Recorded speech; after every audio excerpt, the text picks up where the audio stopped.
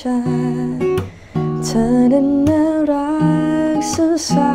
นกับใจ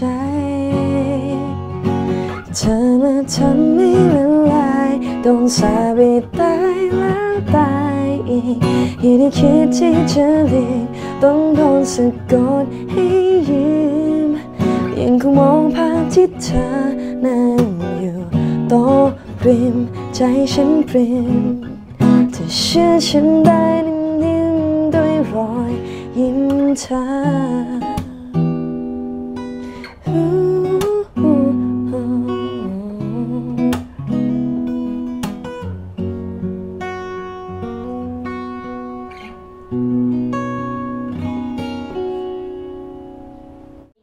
สวัสดีค่ะ ซาร่าซาโลล่าจากค่ายมานะคะ ตอนนี้ซาร่าเป็นศิลปินอยู่ภายใต้ค่ายมานะคะ แล้วก็มีผลงานมาประมาณ 6 6 7 เพลงแล้วแหละน่าจะเข้าเพลงที่ 7นะไม่แน่ใจ ที่คนน่าจะรู้จักก็อ่านะครับได้ไหม ใช่ไหมคะ แล้วก็มีเพลงอะไรอีก รักไม่ยากวิวโปรดของฉันคือเธออะไรประมาณนี้ค่ะ เรื่องราวที่เราเขียนด้วย เพราะว่าเป็นเด็กเชียงใหม่แล้วก็ย้ายมาอยู่กรุงเทพอะไรเงี้ยค่ะ แต่ว่าแต่ว่าเหมือนกับว่า เราเป็นเด็กเชียงใหม่เนาะแล้วเรามีความฝัน ซึ่งพอได้มาอยู่ตรงเนี้ยได้มาทำมันก็โอ้รู้สึกดีอะอยากกลับไปเชียงใหม่แล้วก็กลับไปบอกทุกคนว่าหนูแบบเริ่มทำได้แล้วนะอะไรเงี้ยค่ะอืมความฝันเริ่มต้นตั้งแต่ตอนนั้นอายุเท่าไหร่ ตอนนั้นความฝันเริ่มต้นตั้งแต่อายุเท่าไหร่ไม่แน่ใจเลยค่ะมันแบบมันมาหายหายๆอะไรเงี้ยค่ะแต่ว่าแต่ว่าเอาที่แบบจริงจังเลยก็ต้องต้องประมาณสิบเก้าเนี่ยเราเริ่มเริ่มแบบว่า คือล่ากับครอบครัวแบบว่า พอเราเริ่มวัยรุ่นใช่ไหมเราก็จะเริ่มมีความคิดเป็นของตัวเองละแล้วบวกกับพ่อกับแม่เราก็เป็นคนค่อนข้างแบบสติ๊กในหลาย ๆ เรื่องอะไรเงี้ยเราก็เลยอ้าโอเคมันเหมือนแยกกันอยู่แล้วกันแบบว่าฟึบอ่าให้ระยะห่างให้แก่กัน เพราะว่าเหมือนเขาไม่ได้ค่อยไม่ได้เข้าใจเรื่องเรื่องการเส้นทางการแบบอยากเป็นนักดนตรีของเราขนาดนั้นอะไรเงี้ย ซึ่งตัวเราเองเราก็ไม่ได้ทำให้เขาเห็นด้วยไงเขาเลยแบบด้วยความเขาเป็นห่วงเนาะเขาก็เลยแบบ ไม่เอาไม่ทำอะไรเราก็ดื้อดื้อให้สุด ดื้อแบบออกมาอยู่ข้างนอกเองใช่ไหมแล้วก็ไปหาประสบการณ์แบบว่า ไปร้องเพลงกลางคืนไปทำพาร์ทไทม์ไปทำเป็นpart-time barista แบบฝึกนู่นฝึกนี่ทำทุกอย่างจนแบบว่า เอาละอิ่มแล้วเริ่มแบบมานั่งตั้งคำถามกับตัวเองแล้วว่าแบบ เอ๊ะแล้วออกมาแล้วเอาไงต่อแบบ ก็ได้ร้องเพลงแล้วนี่ ได้ทำทุกอย่างที่แบบเขาห้ามแล้วนี่ แต่ว่าทำไมมันอะไรมันหายไปอะอะไรอย่างเงี้ยนะครับปรากฏว่า passion เรื่องดนตรีที่แบบที่แบบอยากที่จะเขียนเพลง อยากที่จะนู่นนี่มันหายไปเออแต่ว่ามันมันกลับมาเพราะว่า เรามานั่งตั้งคำถามด้วยแหละว่าแบบ เพราะอะไรเราถึงเราถึงอยู่แค่ตรงเนี้ย เมื่อก่อนเรารู้สึกยังไงอะไรเงี้ยมันก็เลย พอเราเฟดออกมาจากที่แบบอะงั้นเรางั้นเราไม่เริ่มเฟดจากดนตรีออกมา แล้วเราไปทำเรื่องเราไปไปศึกษาเรื่องกาแฟ ไปทำงานหนักหมกมุ่นเรื่องสนุกเรื่องกาแฟสังคมใหม่ เราเริ่มเฟดแล้วเราเริ่มเห็น เห็นคนอื่นที่เขามีความสุขในการทำงาน ในการร้องเพลงในการเล่นดนตรี เอ้ยเราเกิดความสงสัยว่าทำไมเขาถึงมีความสุขจังเขาก็หลูปเดียวกับเรานี่นะ แล้วก็ไปคุยกับเขาไปแลกเปลี่ยนความคิดเห็นแชร์กันประสบการณ์ แชร์กับพี่คนนี้แชร์นู่นที่นี่จนจนเริ่มแบบอ๋ออ๋อที่มันเป็นอย่างนี้เพราะว่าเรา เพราะว่าเราเองนี่แหละที่ที่ยังอยู่ที่เดิมเองมมันอยู่ที่ความพอใจเรา เราไม่พอใจไงที่จะอยู่ตรงนี้ ฉะนั้นก็เลยก็เลยเริ่มตั้งใจกับตัวเองแล้วว่าต้องทำอะไรสักอย่างละ ไม่ทำเพลงอีกรอบนึงก็ก็คงต้องไปฝึกเรียนฝึกอะไรสักอย่างให้มันให้ให้ให้มันรู้สึกว่าเราพัฒนาขึ้นอะในทางเรื่องดนตรีอะไรเงี้ยเพราะเราหายไปนานมากบวกกับเราเราเราเรามองหาการทำงานที่มันไม่เหนื่อยเกินไป การทำงานเป็นทีมด้วยก็เลยเป็นที่มาของการมาอยู่ค่ายมา แบบว่าค่ายมาทักแล้วก็สเกลมาในช่วงที่ล่ากำลังสับสนกับชีวิตมาก ๆ ซึ่งเป็นอะไรที่ประจบเหมาะสุด ๆ ไปเลยแบบวู้ ไม่ไม่เคยคิดมาก่อนนะคะก็พอพอได้มาคุยกับทางผู้บริหารแล้วก็ทางกับทีมค่ายมาอะไรเงี้ยก็มันมันน่าแปลกใจที่ที่หลาย ๆ อย่างมันคลิกโดยที่ไม่ต้องพูดอะไรเยอะเลย มันมันแค่บางประเด็นมันเชื่อมกันปึ๊บแล้วจบเลย ก็เลยล่าก็มาอยู่ใครมา แล้วก็สิ่งที่ต้องการที่เคยพูดไว้ก่อนที่จะมาเข้าค่าย ตอนนี้ก็กำลังทำหมดเลย ซึ่งเป็นเรื่องที่ดีมาก ๆ ใช่ อยากรู้ว่าตอนที่ดื้อกับพ่อกับแม่มากตอนนั้นเนี่ยเขามาอยู่เองหาเลี้ยงตัวเองค่ะ อะไรอย่างนั้นคือปะคือเราดื้อใช่ไหมแต่ว่าไอ้ช่วงที่เราออกมาแรกๆอะมันก็แบบเรื่องความที่เราเป็นลูก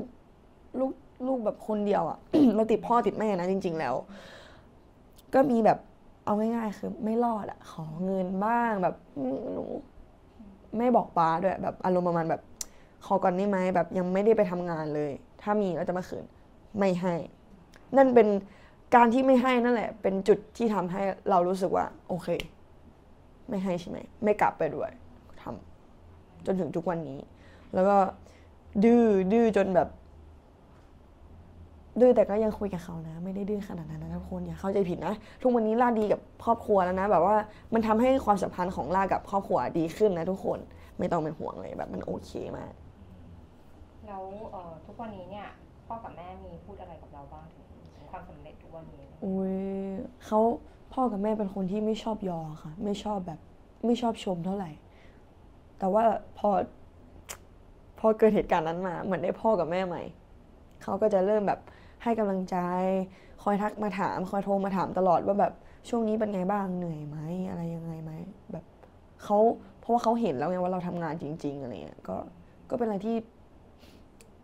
ที่รู้สึกว่าตัดสินใจถูก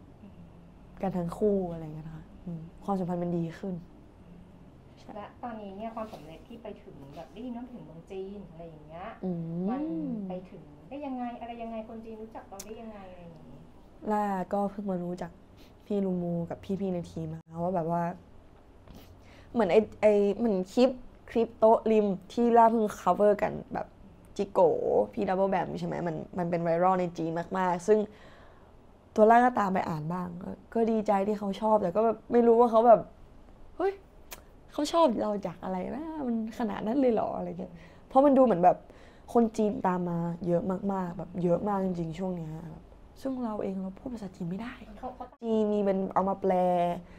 คนเอาไปแปลแล้วไปร้องตามเป็นเวอร์ชันเราอะไรอย่างเงี้ยค่ะก็น่ารักดีดีใจโอเคมาถึงเรื่องความรักกันบ้างตอนนี้อ๋อสถานะเป็นยังไงบ้างคะ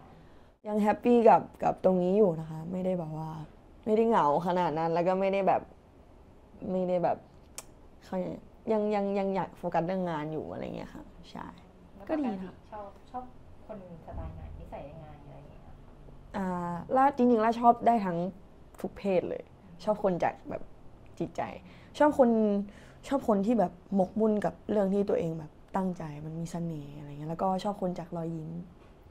แล้วก็ชอบคนน่ารักอะไรเงี้ยทั้งผู้ชายทั้งผู้หญิงเลยทั้งทุกคนเลยค่ะใช่ปกติเป็นคนที่รักตัวเองอะไรอย่างนี้ใช่ไหมคะรัก ก็รักอยู่นะคะ แบบว่าฟิลแบบว่าถ้าอยากกินอะไรหนูก็จะไปกิน แล้วก็จะไปกินอืมอยากเล่นดนตรีชนิดไหนก็จะไปเล่น อยากร้องเพลงอะไรก็จะร้อง อยากทำอะไรก็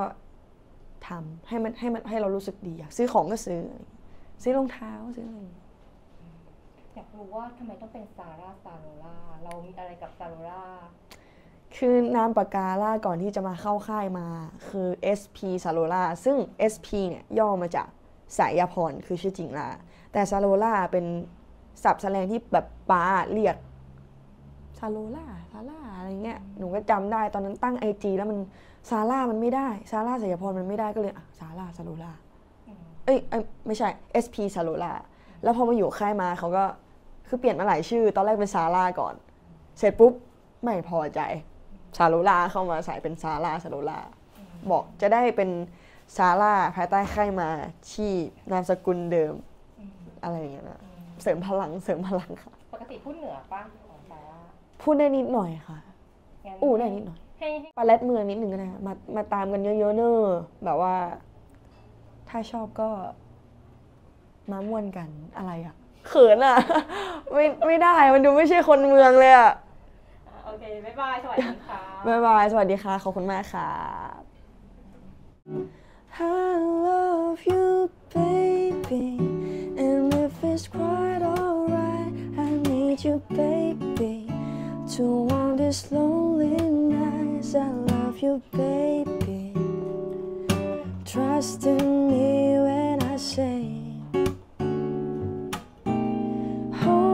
story.